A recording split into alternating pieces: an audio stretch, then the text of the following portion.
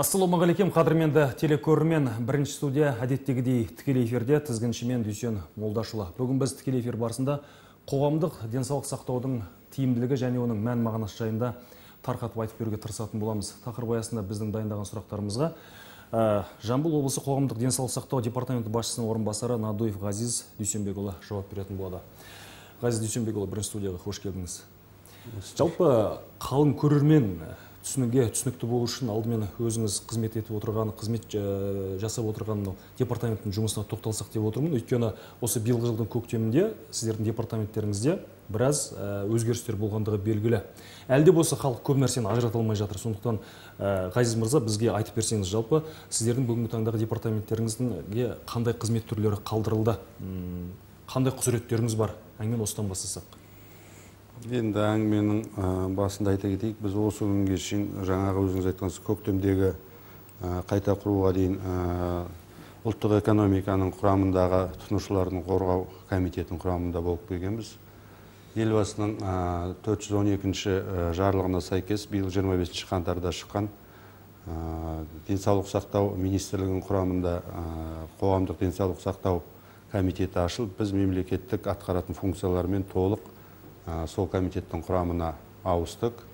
Бүгінгі күнде біз денсаулық сақтау министрлігінің бағынышындамыз. Кезіндегі тұтынушылардың құқықтарын қорғау мемлекеттік саясатын атқарған бөлім бүгінгі күнгі жамбыл облыстық табиғи монополияларды реттеу департаментіне берілді. Нөмірі жетпіс бірінші он жетінші ақпандағы өкімет қаулысына сәйкес біздің құрылған департаменттің құрамына өздеріңіз бұрынғы білесіздер фармация және медицина қызметінің сапасын қадағалау департаментінің медициналық сапаны қадағалау бөлімі және мына медицина саласындағы қызметкерлерге сертификат беру бөлімі ауысып келді. Жамбыл облысы бойынша фармация саласындағы департамент бөлек бөлініп шықты. Олар қазір өздері бөлек қызмет атқарады. Біз бүгінгі күні сол жаңадан екі бөлім қосылған және де бұрынғы өзіміздің санитарлық эпидемиологиялық жұмыстарды атқарамыз және де бұрынғы ұлттық экономика саласынан бізге ауысып келген бүгінгі күнгі техникалық регламенттерді қадағалау және де тамақ өнімдерінің қауіпсіздігін қамтамасыз ету жұмыстары атқарылады осы департаментте бүгінгі таңда. Демек департаменттің халыққа қызмет көрсету аясы бұрынғыдан әлдеқайда ұлғайды деп айтуға толық негіз бар ғой. Жауапкершіліктеріңіз де бұрынғыға қарағанда жоғарылап отыр қазір. Енді жоғарылап отырғанда енді бұл бұрынғыда өзіміздің атқарып келген жұмыстар жаңағы енді бұрын жекеше структура тұғын медициналық саласындағы қызмет көрсету сапасын тексеру енді қазір өздеріңіз білесіздер мемлекет тарапынан жаңағы тексеруші органдарды азайту мақсатында қазір сол бұрынғы екі тексеруші структурадан бір мекеме құрылды. Санитарлық эпидемиологиялық жұмыс бабынан атқарылып келе жатқанымыз ол бұрынғыдан келе жатқан. Осы соңғы үш төрт жылда өзіміз үш төрт реорганизация өтіп бүгінгі күні денсаулық сақтау министрлігіне қайтадан келіп енді өзімізге қарасты жаңада қосылған қызметтерді атқарып жұмыс істеп жатыр. Өзіңіз білесіз елбасының мынау жолдауы қазақстанның үшінші жаңғыруы жаһандық бәсекеге қабілеттілік. Осында жалпы мынау кәсіпкерлердің жұмысын жеңілдетуге байланысты біршама жеңілдіктердің қарастырылғандығы айтылған болатын. Көп азаматтар кәсіпкерлікпен айналысып жүрген азаматтар осы жағынан сауатты болса екен деген тілек өздерінің құқықтарын біле жүрсін. Осы бағыттағы жұмыстары қаншалықты жолға қойылған қазір? Елбасының өткізіп жатқан саясатына сәйкес бүгінгі күні қазір бірде ретке тексерулер саны азайтылған. Өткендегі атамекен ұлттық палатадағы болған жиналысқа генеральный прокурорымыз қатысқан. Осы республиканың сода берген тапсырмаға сәйкес бүгінгі күні қырық пен алпыс пайыздың ортасында санитарлық нормалар қызы осы кәсіпкерлерге жұмысында күнделік жұмысында кедергі жасайды деген нормалар қысқартылып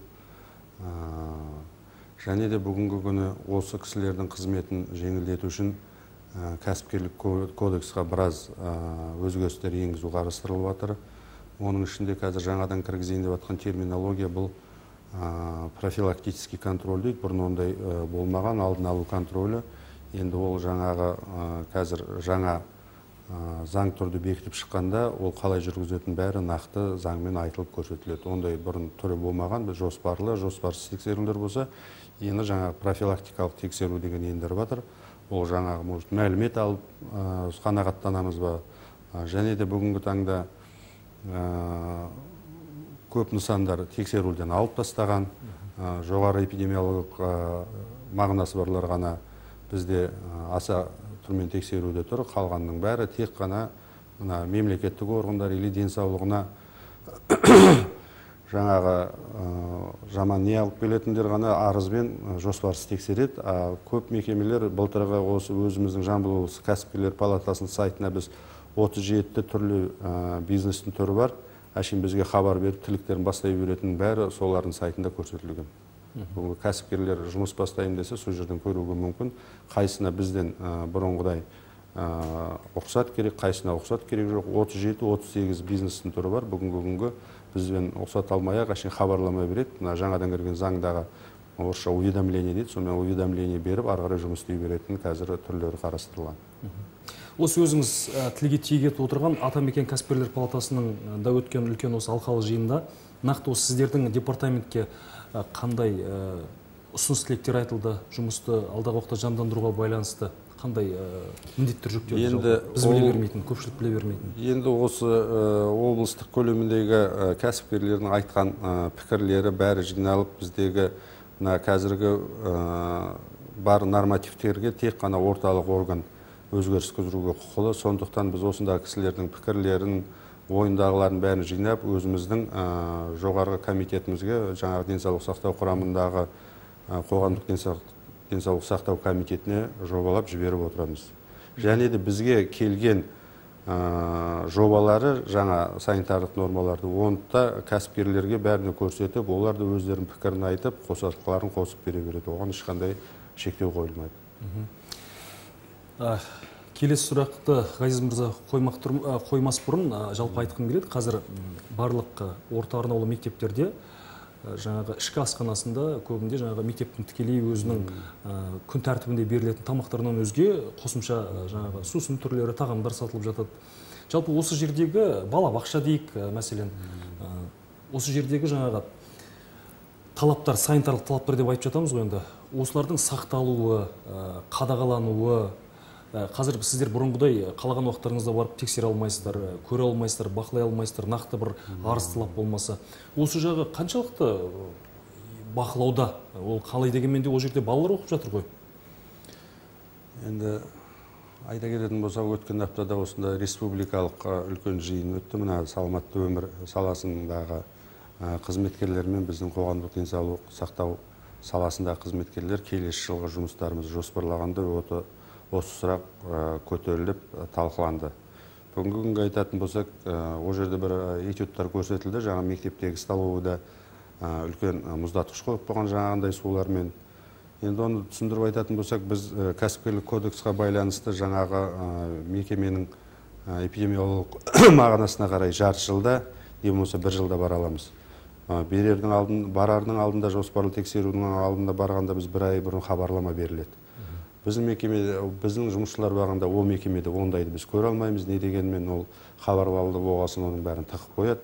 Бүгінгі күні біз жаңағы денсаулық сақтау министрлігінің уәкілдеріне ұсыныс айттық. Енді ондай болса кәсіпкермен ондай келісім шартқа отыратында ол заңда оның бәрі рұқсат берілмейтін заттар онда бір типтік или облыс көлемінде или республика көлемінде типтік келісім шартта кәсіпкерге оның бәрін сатылуын болмайтын жайлы хабардар қылып болмаса мына атамекен палатасы арқылы кәсіпкерлердің меморандумы арқылы ма ол келешек өсіп келе жатқан жасөспірімдер денсаулығы тек қана сэс қызметкерлеріне керек жоқ ол жалпы халыққа керек. Сондықтан балалар ел болашағы ғой.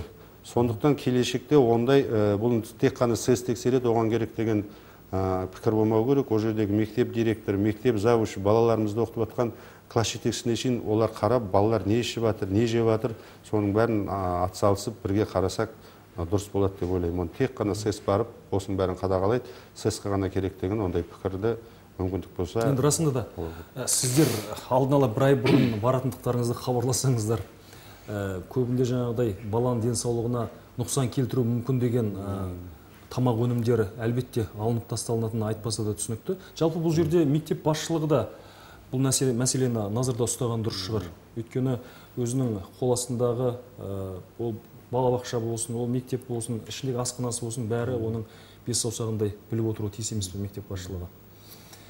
Ал енді сонымен қатар жүретін осы тамақ өнімдерінің қауіпсіздігі жайында да меніңше өз алдына бөлек тоқталу тамақ өнімдері қауіпсіздігін өздеріңіз білесіздер. Біз бұрынғыдай сол жоспарлы тексеру кезінде біздікілер зертханалық не алса қазіргі күнде камералдық бақылау деген тексерудің түрі бар. Ол деген мында біздің жоғарғы тұрған комитеттің тапсырмасы бойынша айтылған сүт өнімдері ма ет өнімдері ма не береді. Бұрынғыдай кәсіпкерлер не қылмас үшін біздікілер қазір нақты бюджеттен бөлінген ақшаға барып затты сатып алады. Сол сатып жатқан мекеменің өзінің бастығы бар технолог бар. Соның көзінше алып зерттеу жібереді. Зерттеу кезінде сапасы дұрыс болмаса оның бәрі жаңағы әкімшілік түрде қаралып қолданатын шаралар қолданып оларға ескертілу бәрі беріп не қылады екі түрде бар. Бұрынғы тек қана біз жоспарлы тексеру кезінде алсақ осы күні нақты бюджеттен бөлінген ақшаға барып сату орнынан сатып аламыз. Это супермаркет болсын магазин болсын басқа жерден алып ол зерттелуге жібереді. Сондай қазір мына тамақ өнімдерінің сапасын тексеру жұмыстары жүргізіледі. Осы сегіз айлық таңда бесте үш пайыз алынған сынамадан химиялық зерттеу көрсеткіштер бойынша сәйкес келмесе бактериологиялық көрсеткіштері бойынша үште сегіз пайыз алынған сынамалар сәйкес келмеді. Сондық бойынша оны ары қарай жұмыстар жалғатылады. Негізгі қазіргі таңда осы қазақстанның басқа жағында мысалы шетелден келген өндірушінің заты не жатса ондай бізге де хабарлама келеді. Біздің де сатылып жатқан магазиндерді олар алып зерттелініп жүргізіледі. Қазіргі таңда енді өзіңіз дұрыс түсініп отырсаңыз жаңа қоғамдық денсаулық деген бір жағынан түсіндіре кетейік. Тереңірек мынау осы күнге шейін қазір талдау жасап келген кезде біз бұрынғы мына бүкіл жұқпалы инфекциялармен айналыссақ осы күнгі жасаған анализде инфекциялық өлімге инфекциялық аурудан 2 процент адам өледі екен. 98 процент инфекциялық емес аурулар. Егер біз любой инфекцияны нақты бұрын зерттеп қоздырғышынан беру жолдарын ол қалай таралуына талдап анализ жасап прогноз жасап отырсақ осы күнге шейін қазір бізге беріп жатқан енді мына инфекциялық емес аурулар бар. Қазіргі ең жоғарғы өлім қан, айта, қан айналымының өлімі дейді. Ол мына инсульт инфаркттан қазір өздеріңіз білесіздер егер ертеде инфаркт алпыс жетпіс жасқа келген адамға жасында болатын болса осы күні отыз бес қырықтағы кісілерде инфаркт алып жатқан бар сондықтан қазіргі біздің алдымызға қоғамның өзіміздің жаңағы мемлекеттік денсаулық программасын қойылып отқан инфекциялық емес ауруларды зерделеп талдап анализ жасап бұл неге пайда болады? Бұны азайту үшін қандай біз тірлік жасап қандай шаралар қолдануымыз керек? Өздеріңіз білесіз индикаторлық көрсеткіштер бар дейді. Мемлекеттік денсаулық программасы жиырмасыншы жылға қойған осы бұдан да басқа онкологиялық мына өте қазір көп тараған және де мына жарақаттанушылық дейміз травматизм.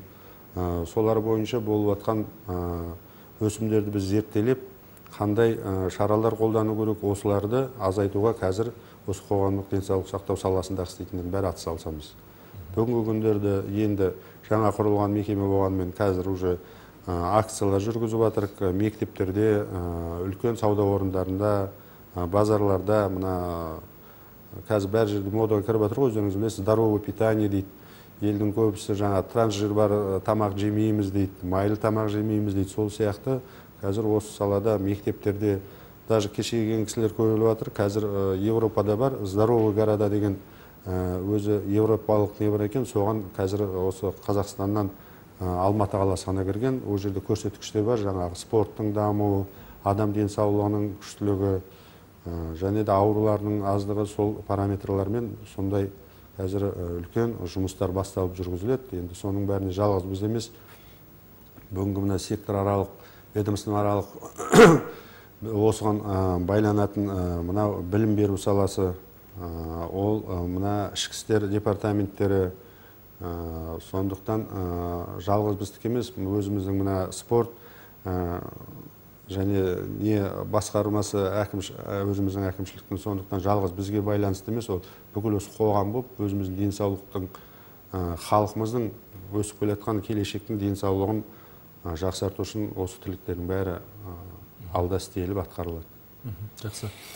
Мына енді сіздердің департаменттегі жаңағы бұрынғы жұмыстарыңызға қосып алған тағы бір міндет бұл енді мынау ауруханалардағы жалпы медициналық көрсетілетін көмектің сапасына байланысты. Әңгіменің ашығы жалпы ауруханаға жатып бәрі керемет болып шықты маған керемет қызмет көрсетті деп айтатын адамдар некен саяқ. Көп жағдайда азаматтар ауруханаға түскенде өз дәрежесінде қарамады маған лайықты маған қажетті диагнозыма қажетті дәрі дәрмекті салмады деген сияқты мәселені бұқара халықтың арасында көп көтереді бұл мәселені. Енді халықтың осындай базынасын сіздер қаншалықты назарда ұстайсыздар үлгересіздер ма жалпы оның барлығын қадағалауға бақылауда ұстауға? Енді сіз айтып отқан енді өте қоғамда көп талқыланатын сұрақтың біреуі. Бір жағынан айтайын мына бұрынғы біздің союз кезінен келе жатқан үлкен қарт кісілер мына бүгінгі медицина саласындағы болып жатқан өзгерістерді көбісі түсінбейді. Мына бұрынғы біздің қарияларымыз барып әй балам жатып бір витамин салдырайыншы деген ол заман өткен. Біраз жыл болған мына ең бірінші бюро госпитализация айтқанда оны елдің бәрі жамандаған. Бүгінгі заңда енді дәрігерлердің бәрі өзінің жоғарғы қазақстан республикасы денсаулық сақтау министрлігінің бекітілген өзінің әр емнің протоколдары бар. Одан артық олар да біз қанша жатып ұзағырақ неғылайық десе олар оған қарай алмайды. Халықта көп түсінбей не қылатындары бүгінгі әр емдеу саласындағы дәрігер ол жаңағы бекітілген протоколға сәйкес жұмыс істеу керек. Ол әр адам айтқаны болмайды. Бүгінгі күнде оларды тексеретін мекемелер бар. Бүгінгі таңда біздің департаменттің саласында осы медицина саласындағы қызмет көрсету саласын тексеру бөлімі отырса биылғы жылдың басынан бері 65 арыз түссе оның ішіндегі 12 арыз негізделген ода көрсеткен жаңа өзіңіз айтқан факттар орын тапқан болса 14 арызда көрсетілген фактылар жартылай негізделген. Ал көбінесе салған 39 арызда көрсетілген фактілер орын алмаған.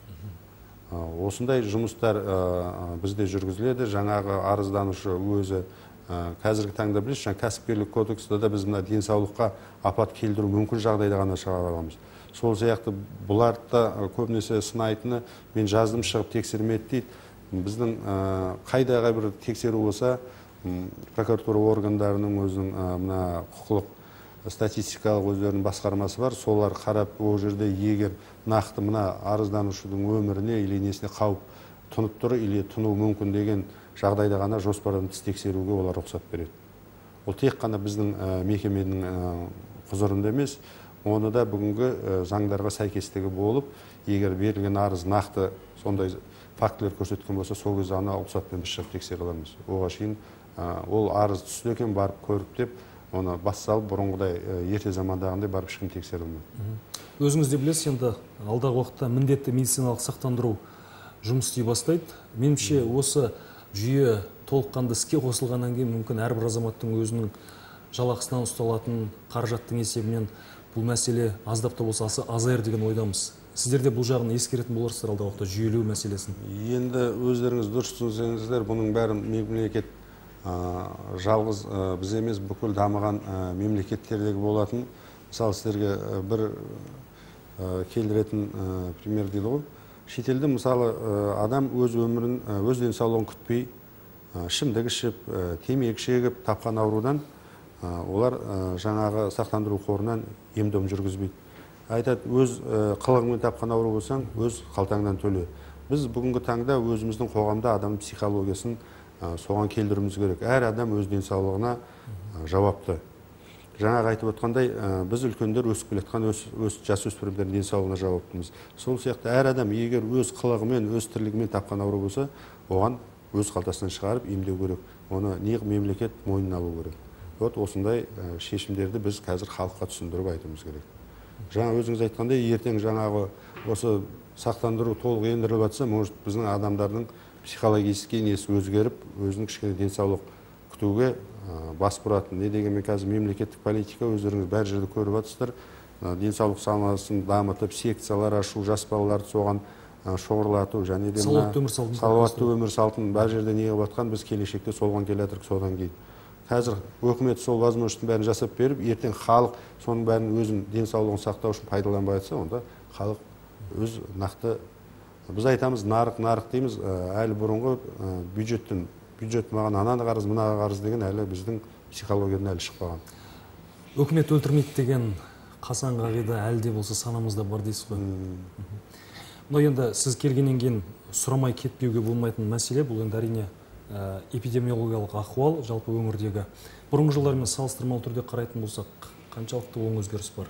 Енді 99 нозологиялық инфекциялар бойынша біз мониторинг жүргіземіз. Бүгінгі таңда 45 инфекция бойынша аурулар тіркелмеген. 25 түрлі инфекция бойынша төмендеулер байқалып отыр. Жеті инфекция бойынша ауру вообще тіркелмеген. Биылғы эпидемиологиялық жағдай жақсы. Жалпы инфекциялық аурулар көрсеткіші 11 пайызға. Былтырғы көрсеткіштермен осы уақыт мына сегіз айлық қорытындылар шығарылған. Сегіз айлық қорытындылар бойынша 11 пайызға төмендеу байқалуда. Айтыңызшы жалпы азаматтардың осы жұқпалы дертпен күресуге деген өздерінің бір ықылас пейіл деп айтсақ дұрысырақ болатын шығар. Жаңағы кішкентай балалардың өзіне екпе егу болсын тағысын тағылар. Қаншалықты белсенді біздің облыстың азаматтары осы жағынан? Енді құдайға шүкір жаңағы айтылған 46 инфекциялық ауру тіркелмеді дегенде мына вакцина управляемый инфекциялар деген бар мына вакцина салып алдын алатын. Былтыр сол вакцина управляемый инфекциядан бір инфекция бізде тіркелмеген. Ол жағына көрсеткішіміз жақсы. Ондай былтырғы және де қазір өздеріңіз білесіздер бірінші қазаннан мына тұмауға қарсы екпе жұмыстары басталды. Өкімет тарапынан қойылып жатқан халықтың он проценті егілу керек. Былтырғы біз ол он проценттік жаңағы он пайыздық көрсеткішті жетіп он процент облыстың тұрғындары егілді. егілді. Жақсы. Ғазиз мырза мынау енді бұрынғы жылдары осы конго қырым безгегі айтылатын кезде халық бір үрке қарайтын еді. Расында да ол енді адам шығынына дейін алып келетін жағдайлар болатын. Биылғы жылы бұл, бұл мәселемен қалай күрестіңіздер? Қай жерлерден көрініс тапты? Бар ма жалпы бұндай? Енді былтырғымен салыстырғанда бізде биыл биыл алты ауру тіркеліп бір қазалы жағдай болса былтыр жеті ауру тіркелген осындай уақытта. Енді өздеріңіз білесіздер облыс әкімінің қаулысына байланысты жұмыстар жүргізеді. Бұл жерде өзіміз айтамыз жаңа ауыл шаруашылығы ветеринарлық қызмет бар біз бар денсаулық сақтау саласы бар. Өзіміздің тарапынан біз өткізетін жылдық екі рет өткізетін алдын ала дезинсекциялау жұмыстары жүргізіліп оны лауазымды комиссия сапасын тексеріп жұмыстарды атқарған. Бірінші туры өтті қазір күзгі туры өтіп жатыр. Негізі айтып келгенде енді биыл келген осы конго қырым қызбасымен айналысып жатқан мына cdc дейміз америкалық инфекциялық бақылауды контролінің бақылау комитетінің қызметкерлері келгенде олардың айтатыны ауырған адам қайтыс болды. Болары болды. Бұл эндемиялық жерде болатын жағдай. Біздің основной жұмыс халықпен жұмыс істеу керек сондай ауру болдырмас үшін ауру болдырмас үшін алдын ала шараларды күшейту керек дейді. Енді ойбай адам өліп қалды деп оған эндемиялық жерде ол бәр жерде күтілетін жағдай. Сондықтан одан қорқатын ештеңе жоқ. Біз просто халықпен жұмыс істеп алдын ала өткізу сол ауруды болдырмау шараларын ұйымдастырып өткізуіміз керек және бақылауымыз керек. Сол қажет. Рахмет. Ғазиз мырза алтын уақытыңызды бөліп келгеніңізге жалпы бұл қоғамдық денсаулықты сақтау бүгінгі таңда мен ойлаймын бұл күн тәртібінен түспеуі керек. Өйткені әрбір азамат өзіңіз айтпақшыдай өз денсаулығының егесі болып табылу керек. Осы азаматтардың денсаулығын нығайту оларды ауыртпау көптеген жұқпалы аурулардың алдын алу барысындағы өздеріңіз жүргізіп отқан жұмыс тек қана жемісті болса екен дейміз. Құрметті телекөрермен осымен бірінші студия өзінің апта басындағы жұмысын осылай түйіндеді. Басталған еңбек аптасы әрбір істеріңізге тек сәттілік әкелсін.